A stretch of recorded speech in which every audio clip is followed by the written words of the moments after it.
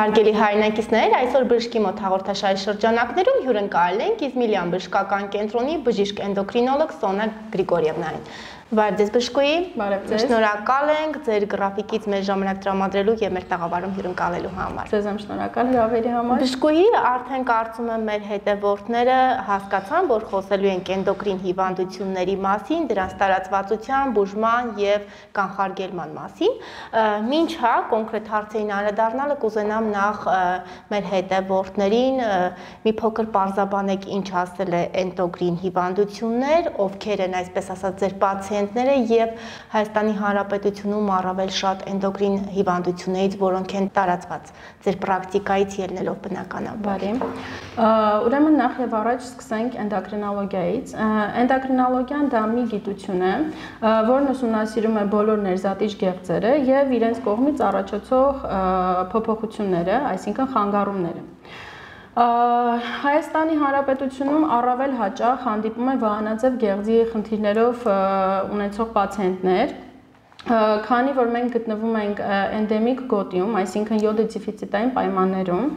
այդ իսկ պատճառով մեզ մոտ վահանաձև գեղձի խնդիրներից առավել հաճախ հանդիպում է հիպոթիրեոզ հիվանդությունը։ Դա վահանաձև գեղձի թեր ֆունկցիան է, որի ժամանակ տեղի ունենում վահանաձև կեղձի թեր ֆունկցիա, որի պացիենտները գանգատներ են ունենում, գալիս են դիմում են էնդոկրինոլոգի ընդհանուր թուլությունով, գլխացավով, գլխապտույտներով, մազաթափությունով, մաշկի չորությունով, մասնավորապես արմունկի հատվածում կնունքների ճակճկվածությամբ, սրունքների թեփոտվածությամբ, հիշողության վատացումով, ինչպես նաև տարբեր տեսակի այտուցներով։ Այտուցվում են հիմնականում դեմքի շրջանը, ոտքերի, ձեռքերի։ Կանանց մոտ տեղի է ունենում դաշտանային ցիկլի խանգարումներ, եւ այդ բոլոր տեսակի խանգարումները կարող են առաջանալ վահանաձև գեղձի թեր ֆունկցիայի հետևանքով։ Ինչպես նաև ունենում ենք սրտի կողմից հաճախասրտություն, տախիկարդիա ասվածը, ունենում ենք տարբեր ֆունկցիաների դեպքում, այսինքն տարբեր շեղումների ժամանակ վահանաձև գեղձի հիվանդությունները բազմաթիվ են, կարող ենք ունենալ զարգերակային ճնշման իջեցում, ինչպես նաև զարգերակային ճնշման բարձրացումներ, կարող ենք ունենալ դիաստոլիկ եւ սիստոլիկ ճնշումների մոտեցումներ, եւ պացիենտները հիմնականում կարող են կանգատվել անքնությունից, Մի խոսքով բոլոր տեսակի հիվանդությունները, ինչպես նաև փորկապությունը, այո, բոլորը փոխկապակցված է, քանի որ էնդոկրինոլոգիան դա մի գիտություն է, որը որ սերտորեն կապված է բոլոր տեսակի նեղ մասնագիտությունների հետ։ Այսինքն պացիենտները կարող են ունենալ փորկապություն դիմել գաստրոենտերոլոգի, բայց մինչև հանածև գեղձի ֆունկցիան չկարգավորվի, փորկապությունները չեն վերանա տարիքային ինչ հա տենդենց եք նկատում առավել շատ կոնկրետ էնդոկրին հիվանդություններով առավել շատ ինչ տարիքային խմբեր են տարապում տեսեք, քանի որ ես ինքս մեծահասակների էնդոկրինոլոգ եմ, այդ իսկ պատճառով ես 18 եւ 18-ից բարձր անձանց հետ եմ առնչվում։ Հետևաբար դե երիտասարդացել են բոլոր տեսակի հիվանդությունները, կախված էկոլոգիայի, ժառանգական նախատրամադրվածությունից, հա ստրեսներից, այդ բոլորը իհարկե երիտասարդացել են առավել հաճախակի սկսել են ավելի տարիքով փոքր պացիենտներ դիմել 18, 19, 20 տարեկաններ շատ հաճախակ են դարձել նման խնդիր ունեցողները Իսկ սերային առումով բժշկուի առավել հաճախ։ Սերային առումով տեսեք, գրականության մեջ էլ միշտ ուսանողական տարիներից ասում էին, որ կանանց մոտ առավել հաճախ է վահանաձև գեղձի խնդիրները։ Այո, դա դեռ պահպանվում է, այսինքն կանայք մի քիչ ավելի հաճախակի են դիմում նման խնդիրներով, կոնկրետ տվյալ պարագայում վահանաձև գեղձի խնդրի պարագայում ավելի հաճախ կանայք են հիվանդանում։ Շաքարային դիաբետի վերաբերյալ կարող եմ ասել, որ ի որոշակի չափով էլի հավասարվել է արդեն եւ էլի երիտասարդացել նման խնդիր ունեցողների քանակը։ Իսկ ծխելը ինչ ազդեցություն է ունենում էնդոկրին հիվանդությունների զարգացման վրա, որովհետեւ կատարածած տեսակետ, որ ծխելը եւս իր ուրույն ազդեցությունն է թողնում շաքարային դիաբետի առաջացման վրա, կուզենայի դուք որպես մասնագետ հաստատեի կամ հերքեիք այդ կարծրատիպը։ Այո, իսկապես կա այդպիսի բան, որովհետեւ շաքարային դիաբետի ժամանակ մենք ունենում ենք միկրո-մակրո անգեոպաթիաներ, այսինքն անոթների ախտահարումներ, եւ բնակ բնականաբար նման պացիենտները արդեն իսկ ունենալով տվյալ հիվանդությունը եւ կողքից մի հատ էլ ավելացնեն ծխելը, բնականաբար անոթների վիճակը առավել կբարձրանա եւ ավելի դժվար կլինի կորեկցիայի ենթարկել բուժումը եւ հետագա հետազոտություններով պետք է լինելու արդեն անոթային վիրաբույժները նույնպես զբաղվեն, այսինքն ցանկալի է իհարկե որպեսզի պացիենտները չծխեն առհասարակ մարդիկ չծխեն եւ երբ որ իմանում են որ խնդիր կա, բնականաբար զգուշացվում է բժշկի կողմից, որ ցանկալի է չծխել նման խնդիրներ չունենալու համար։ Իսկ ժառանգական նախատրամադրվածություն եւ վահանաձև գեղձի մասով եւ շաքարային դիաբետի ունենք ժառանգական նախատրամադրվածություն այս պաթոլոգիաների դեպքում։ Այո, ունենք ամեն ինչը գրեթե ժառանգական նախատրամադրվածության հետ կապված է, այսինքն բոլոր խնդիրները ժառանգական են, մասնավորապես շաքարային դիաբետը, վահանաձև գեղձի խնդիրները, ստատիստիկորեն օրինակ վահանաձև գեղձի խնդիրները ավելի շատ մայրական գծով են փոխանցվում, իսկ ինչ վերաբերում է շաքարային շաքարային դիաբետին, ապա բնականաբար եւ մայրական եւ հայրական գծով կարող են նման խնդիրները փոխանցվել։ Դա ուղղակի իմ ստատիստիկ ինչ որ հետազոտության արդյունքներ, որ կանանց կողմից մասնավորապես մայրիկների կողմից աղջիկներին փոխանցվում են ավելի շատ աուտոիմուն թիրոիդիտները, վանաձև գեղձի խնդիրներ ունեցող այլ հիվանդություններ։ Բժշկոյի դուք զրույցի սկզբում նշեցիք, որ ըստեյության էնդոկրին հիվանդությունները մեկը մյուսի հետ փոխկապակցված են եւ նաեւ վահանաձև գեղձը գուցե մեր հետևորդների համար զարմանալի հեն չի, որ վահանաձև գեղձի պաթոլոգիան կարող է բերել նաեւ անպտղության, այս մասին եւս կուզենամ խոսեք։ Տեսեք, վահանաձև գեղձը որ դեպքում է, հա, դա որ դեպքում դա կարող է հանգեցնել նաեւ անպտղության կարող է հանգեցնել անպտղության այն դեպքում, երբ որ պացիենտները չեն իմանում, որ ունեն տվյալ խնդիրը,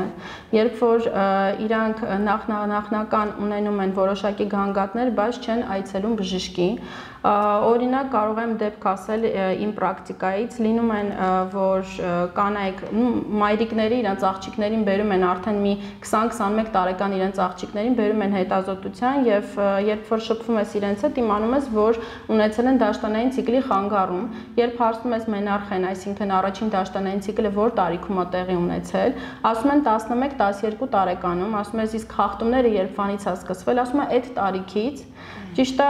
շատ ցավալի է, որովհետև այդ տարիքից երբ որ սկսվում է, մենք ունենք մի հատ կարծրատիպ, որ ասում են ոչինչ, կկարգավորվի, ժամանակ անցնի կկարգավորվի, բայց երբ որ հասնում աղջիկը արդեն ամուսնանալու պահը, նոր այդ ժամանակ գալիս են դիմում են դիմիմի, որ դիմում են բժշկի, որ հղիության հետ կապված խնդիրներ չունենան։ Եվ բնականաբար այդ պարագայում, երբ որ մենք իմանում ենք, որ կա խնդիր, կարող է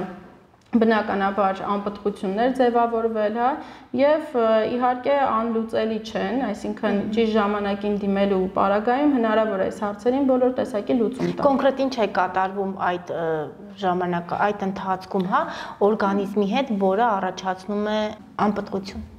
Բոլոր տեսակի օրգան համակարգերն են ներգրաված լինում, մասնավորապես այդ ժամանակ, քանի որ մենք ունենում ենք վահանաձև գեղձի թեր ֆունկցիա, դա հիմնականում թեր ֆունկցիաների հետևանքով է ձևավորվում։ Քանի որ մենք ունենում ենք վահանաձև գեղձի թեր ֆունկցիա, այդ ժամանակ մեր մոտ հիպոֆիզում տեղի է ունենում թիրոտրոպ հորմոնի գեր արտադրություն, որն էլ հենց բերում է վահանաձև գեղձի, նո, ընկճումն է բերում, որպեսզի թիրոտրոպ հորմոնը բարձր մակարդակի մնա։ Իրանք հետադարձ կապի սկզբունքով են աշխատում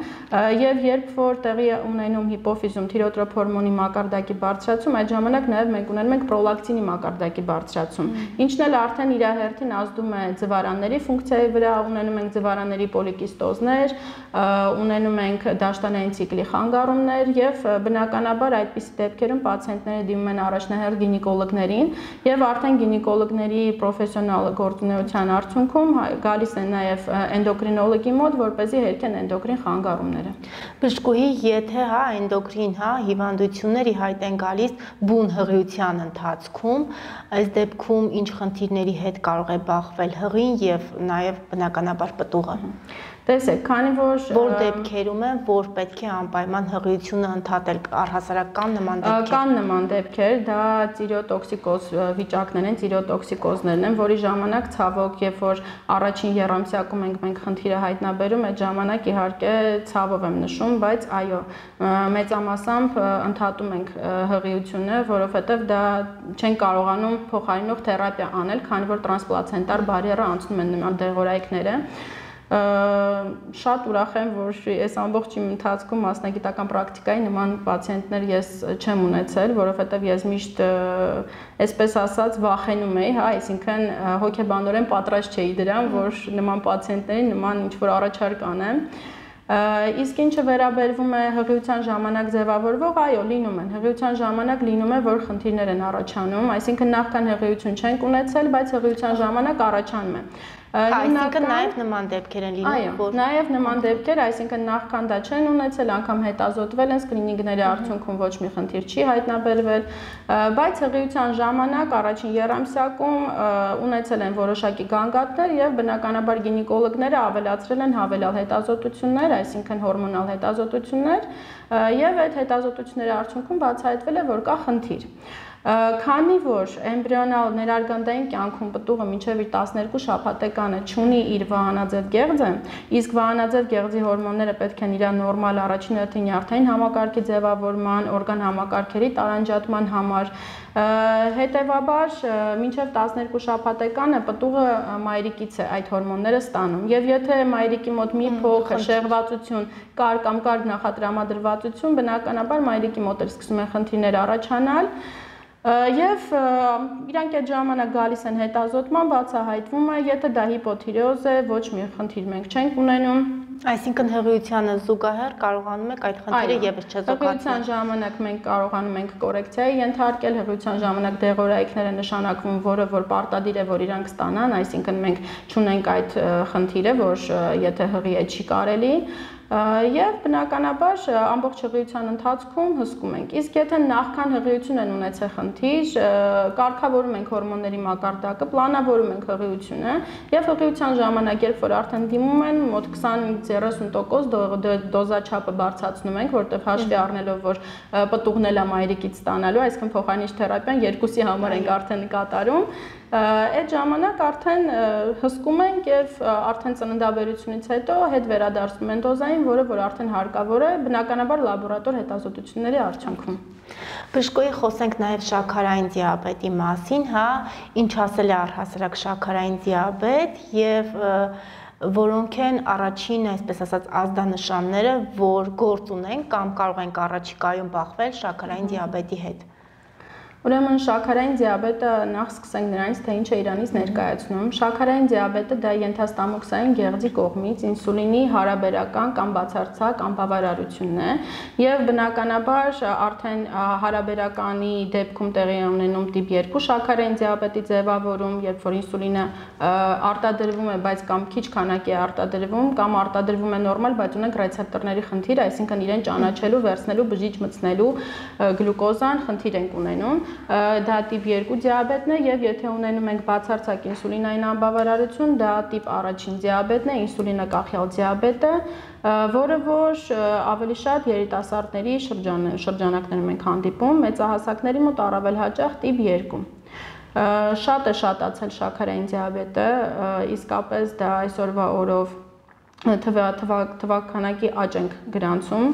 որովհետև մեր էկոլոգիան, սննդակարգը, ամեն ամեն ինչը, ստրեսայնությունը, ամեն ինչը անդրադառնում է եւ հաշվի առնելով ժառանգական նախատրամադրվածություն ունենում ենք դրթապաճառ եւ հիվանդությունը արդեն իսկ առաջանում է Գանգատները պացիենտները ունենում են էլի ընդհանուր թուլություն, ունենում են բերանի չորություն, ծարավի զգացում, գիշերամիզություն, հաճախամիզություն, ունենում են ոտքերի ցավեր, Եվ բնականաբար, երբ որ արդեն գլյուկոզայի մակարդակը որոշում են, համապատասխանաբար դիմում են բժշկին։ Բժշկուի, եթե ծնողները երկուսն էլ ունեն շաքարային դիաբետ, այսինքն պտուղը դատապարտված է ծնվել շաքարային դիաբետով։ Ոչ, դատապարտված չէ, սակայն հետագայում արդեն թե ծնողը փոքր տարիքում եւ թե արդեն անհատը մեծ տարիքում պետք է գիտակցաբար մոտենա այդ հարցին, դա դատավճիռ չէ։ Պարզապես պետք է գիտակից մոտենալ, հասկանալով, որ կա ժառանգական նախատրամադրվածություն, հետևել սննդակարգին, զբաղվել սպորտով, փորձել փորձել առողջ ապրելակերպ վարել։ Ինչ անդառնալի հետևանքներ կարող է թողնել շաքարային դիաբետը մարդու կենսակերպի առողջության վրա։ Շատ ճիշտ նշեցիք կենսակերպ, որտեղ իսկապես այսօրվա օրով դիաբետը դա ոչ թե հիվանդություն է, այլ կենսակերպ է համարվում, որ դիաբետ ունեցող մարդիկ վերջապես ապրում են առողջ կյանքով, որ բոլորս պետքա ապրենք այդպես անդառնալին տեսեք, քանի որ եթե իրանք հսկվում են արդեն իսկ էնդոկրինոլոգների մոտ, անդառնալի խնդիրներ գրեթե չեն ունենում, բայց կախված է թե երբ վանից, այսինքն հիվանդության առաջացման որ ստադիայից են դիմել, որովհետև շատ հաճախակի պացիենտները իմանում են, որ, չգիտեմ, իրանց հարևանը կամ ինչ որ մեկը խմում է ինչ որ տվյալ դեղորայքը եւ իրանք էլ են որոշում, որ եթե իրանք ունեն շաքար, իրանք պետք է դա խմեն բայց չէ որ դա ինդիվիդուալ է, այսինքն բժիշկը նույն պրեպարատները բոլորին չի նշանակում, այսինքն անհատական մոտեցում, ելնելով իհարկե կենսաքիմիական հետազոտությունից, ելնելով սոնոգրաֆիկ պատկերից հասկանալով մենք այլ ինչ բարդություններ ունենք, որովհետև շաքարային դիաբետը ինքը լի է բարդություններով եւ հասկանալով որ ստադիայում ենք իհարկե եթե ժամանակին են դիմել ոչ մի խնդիր չի առաջանում Բժշկուհի ամփոփելով մեր զրույցը կուզենամ նաև խոսենք դարի, հա, համաճարակի COVID-19-ի, ակնհայտ է, որ թեև այսօր, հա, նահանջել է COVID-19 վարակը, սակայն COVID-19-ով վարակված մեր հայրենակիցները ամբողջ աշխարհում առհասարակ մարդիկ ունենում են հետ COVID-յան խնդիրներ, հաշվի առնելով, որ COVID-ը իր հետևանքներն է թողնում ամբողջ օրգան համակարգի վրա կոնկրետ էնդոկրին հիվանդությունների վրա ինչ հետևանքներ է թողնում եւ ինչպես եք դուք կարողանում չեզոքացնել այդ խնդիրներ եւ առհասարակ հնարավոր է չեզոքացնել Ճիշտ է 2020 թվականից համաճարակի եւ համաճարակով պայմանավորված շատ հաճախակ են սկսել դիմել կլինիկա շաքարային դիաբետի կապակցությամբ որովհետև կեղել են պացիենտներ, որոնք որ նախքան COVID-ով հիվանդանալը չեն ունեցել ոչ մի խնդիր։ Ну, գուցե ունեցել են ժառանգական նախատրամադրվածություն, բայց երբ որ իրանք ունեցել են COVID եւ բուժվել են COVID-ով պայմանավորված բուժում են ստացել, պատմում են եւ երբ որ պացիենտը գալիս է, միշտ հարցում ենք, իսկ երբանից է խնդիրը, որովհետև գուցե նա ունեցել է օրինակ մի 2 տարի առաջ հետազոտվել է ունեցել է եւ նոր եկել է դիմել է բժշկի։ Այդպիսի դեպքեր մենք շատ ենք ունենում Երբ անամնեստիկ տվյալներից ելնելով իմանում ես, որ այո, նա ասում է, որ ես մինչև իդով բուժվելը չեմ ունեցել, իդ կենտրոնում պարկել եմ, այնտեղ ունեցել եմ շաքարի գլյուկոզայի բարձր մակարդակ, ինչի հետևանքով անգամ ինսուլին են ներարկել։ Դա պայմանավորված է եղել կորտիկոստերոիդների լայն կիրառումով COVID-19 ժամանակ դեքսամետազոնի, որը որ բերում է գլյուկոզայի մակարդակի բարձրացման արյան մեջ։ Եվ մենք ունենք այդպիսի հիվանդություն էնդոկրին, դա կոչվում է ստերոիդային դիաբետ, այսինքն դիաբետ, որը առաջանում է նման դեղորայքների կիրառումից հետո Իրանց բնականաբար վերցնում ենք հսկողության տակ, բացատրում ենք սննդակարգը, նորից որպես տիպ 2 դիաբետ ենք մենք վերաբերվում տվյալ հիվանդությանը եւ կարողանում ենք իհարկե հասնել կոմպենսացիաների պացիենտների հետ միասին։ Բժշկոյի բացի 2020 թվականին բացի, հա, համաճարակից նաև հայ ժողովուրդը բախվեց 44 օրյա պատերազմի հետ, որի արդյունքում ունեցանք հազարավոր զոհեր, վիրավոր տղաներ եւ հարցս հետեւյալն է, ինչ հետևանքներ կարող է թողնել ստրեսը, հոգեբանական ստրեսը շաքարային դիաբետի առաջացման վրա, քանի որ շատ հաճախ գրեթե ամեն օր, հա, մարդիկ օրինակ, որ ինչ որ բանից վախենում են կամ ասում են տես շաքարից բարձրացավ, հա։ Ընդհանրապես այդ ասույթը ինչքանով է իրականությանը համապատասխան եւ ստրեսից հնարավոր է ձեռք բերել Այո, ստրեսից հնարավոր է նորից եկանք հասանք ժառանգական էլի նախատրամադրվածությունը, որ ստրեսը հանդիսանում է այս պարագային որպես դրդապատճառ։ Այո, ստրեսից կարող է առաջանալ, ստրեսից մենք ունենում ենք գլյուկոզայի մակարդակի բարձրացումներ եւ անգամ պացիենտների հետ, որոնք որ հաջորդ օրը թեկուզ եւ պետքա վիրահատվեն, վերցնում ես հսկողության տակ, հաջորդ օրը այս ամբողջ գիշեր այնքան մտածմունքների մեջ ա լինում, ինչքան ինսուլին ուզում ես արա այդ պացիենտին, երբեմն լինում են առավոտյան բարձր ցուցանիշներ եւ դու անզոր ես, որովհետև մտածմունքներից, սթրեսից, հա, իրենց մոտ տեղի են ունենում նման խանգարումներ։ Եվ վերջում բժշկուի ձեր խորհուրդը, հա, մեր հետևորդներին, ձեր պացիենտներին, ինչպես կարողանալ առողջ կենսակերպ վարել, հա, եւ թեև որևէ մեկս այսօր ցավոք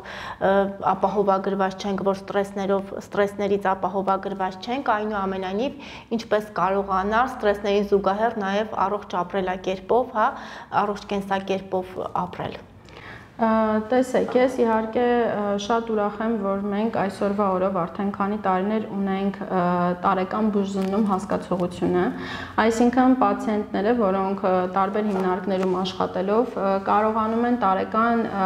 բուժզննում անցնել իրենց ուզած, իրենց ընտրած հիվանդանոցներում, բժշկական կենտրոններում եւ ինչը որ ավելի հեշտացնում է եւ թե պացիենտի եւ բժշկի գործը, որովհետեւ կարողանում ենք տվյալ հիվանդությունները իմանալ, որ կա հիվանդություն նախնական ստադիաներում, ինչը որ շատ կարևոր է որովհետև օրինակ կարող եմ ասել մեկը վահանաձև գեղձի եւ գլյուկոզայով պայմանավորված, վահանաձև գեղձի խնդիրների ժամանակ, քանի որ տեղի է ունենում մեր մոտ տարեկան բուժզնման ժամանակ վահանաձև գեղձի սոնոգրաֆիան դա պարտադիր հետազոտությունների ցանկի մեջ է մտնում եւ պացիենտը կարող է ոչ մի գանգատներ չունենալ, տարեկան հետազոտվել եւ իմանալ, որ կա խնդիր եւ արդեն հետեւաբար ուղղորդվել էնդոկրինոլոգի եւ ստանալ բուժում։ Եվ նաեւ արվում է գլյուկոզայի մակարդակի որոշում, բազմաթիվ հետազոտություններ են արվում, բայց օրինակ էնդոկրին դա հիմնական սոնոգրաֆիան է եւ գլյուկոզան է։ Ես խորհուրդ կտամ, որ เป զի մեր պացիենտները, երբ որ ունենում են որոշակի խնդիրներ, գանգատներ, դիմեն բժիշկի, ժամանակին իմանան իրանց խնդրի մասին, ժամանակին բուժում ստանան, որովհետև դա շատ կարևոր է։ Ես կցանկանամ, որ լինեն առողջ հետևեն իրենց առողջությանը, որովհետև առողջությունից թանկ բան գոյություն չունի։